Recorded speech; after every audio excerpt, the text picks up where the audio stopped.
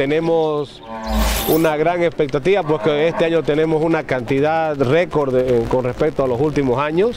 Se ha superado en más de un 22% la cantidad de ejemplares con respecto al 2023.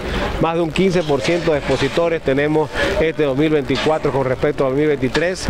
Eh, muy contentos, sabemos que la importancia que tiene Cruz para lo que es la difusión del trabajo de genética y de todo lo que se produce en Bolivia, así que eh, Estamos ya iniciando, iniciamos hoy día con el ingreso de aproximadamente 400 ejemplares eh, de la raza cebuina, que son las de mayor importancia dentro de la Expo Cruz.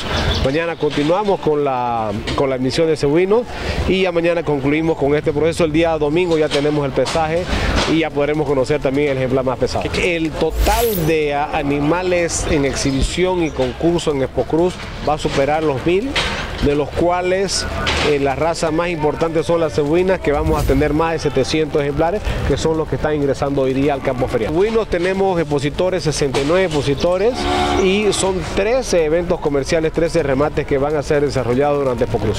Eh, obviamente la, mayor expectativa que tenemos es la visita de los, de los países eh, de todo el continente americano, son más de 15 países que vamos a tener. Nuestro principal objetivo es seguir concretando mercados para nuestra genética cebuina. Recientemente se ha consolidado el protocolo con Guatemala. Esperamos poder también exportar genética a ese país. Viene una delegación muy grande de Colombia, una delegación muy importante, más de 40 ganaderos de Ecuador, eh, que esperamos también concretar negocios con esos países y obviamente la delegación más numerosa es la de Brasil. Hemos exportado genética a Colombia, a Brasil, a Cuba, a Ecuador y queremos seguir aperturando mercados. La expectativa es grande, tenemos, como le dije, tenemos la, visita de aproximadamente 15 países y lo que estamos seguros es que vamos a concretar negocios de exportación para nuestra genética. Posidón es un ejemplar boliviano, lo que eh, necesitamos es... Eh, continuar y, seguir este, enviando más, más reproductores tanto a Brasil como a otros países.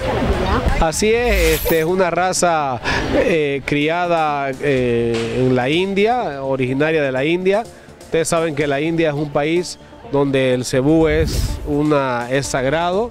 obviamente lo tienen como una, un animal de compañía eh, y bueno, ya va a estar presente en Bolivia también. Sí, tenemos obviamente la raza que más ha crecido en cuanto a número con respecto a la Expo Cruz 2023, la raza Cindy. Tenemos 70 ejemplares en concurso y exhibición.